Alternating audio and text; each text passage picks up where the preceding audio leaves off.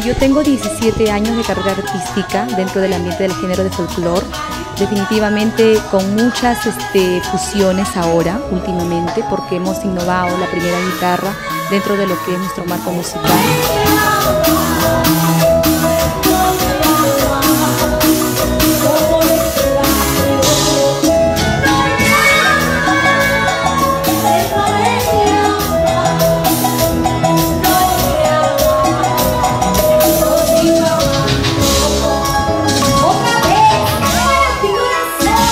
Yo quiero agradecer definitivamente al público peruano porque nos ha, en, esta, en estos dos últimos años, eh, quizás eh, hemos vuelto con esa misma fuerza con la que iniciamos hace pues, 17 años, ¿no? Y, y yo creo que ahora hemos tenido la suerte de viajar con esta producción, ahora estamos aquí también en España y definitivamente con esas ganas de poder entregar todas las canciones que grabamos desde el inicio hasta la actualidad. Tenemos muchas, muchos temas, cerca de 15 producciones musicales.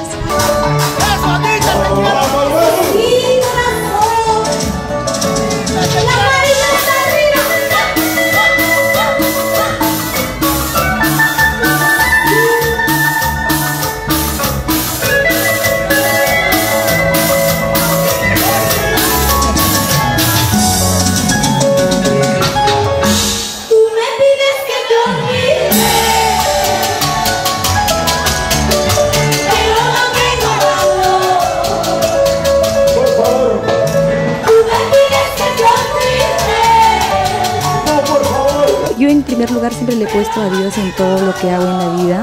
Yo no sé lo que pueda pasar mañana.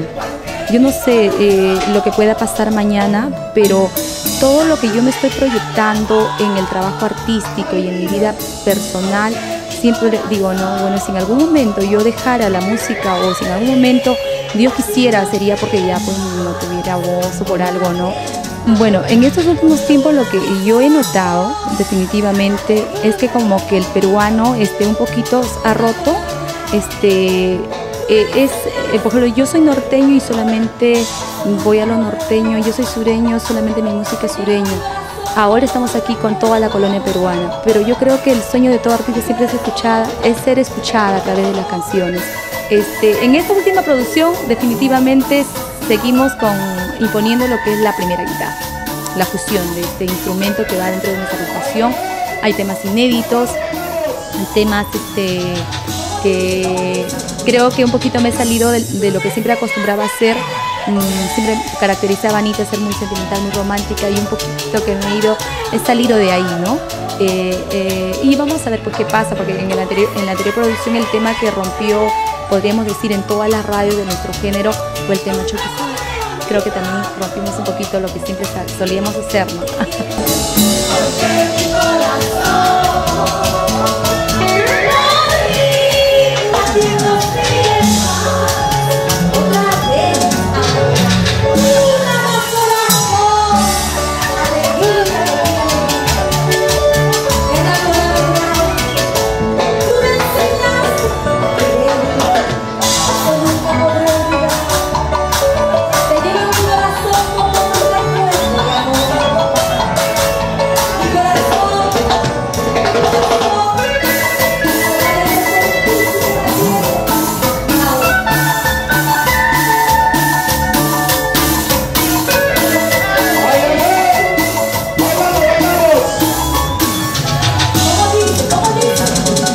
Cuando yo estaba en el Perú, definitivamente siempre nos, escri nos escribían de acá mucha gente que conocía mi música, que se vino tal vez trayendo un disco de Anita Santibáñez.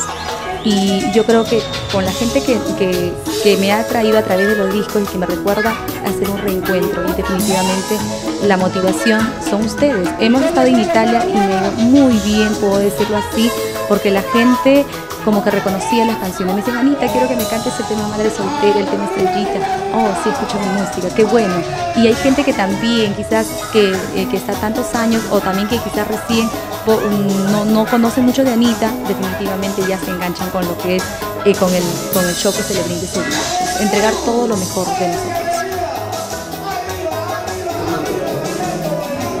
Bueno, me siento muy contenta después de haber estado con el público maravilloso peruano que acudió a este evento que realizó pues eh, eh, en este lugar eh, donde que prácticamente hemos brindado todo lo mejor de nosotros. Yo creo que el público ha respondido bastante bien y eso me alegra muchísimo. Como artista me llevo la satisfacción más grande de haber recibido los aplausos y el cariño de toda la gente peruana de diferentes partes del Perú y que hoy nos ha acompañado en este bonito recinto donde recibe a toda la familia peruana.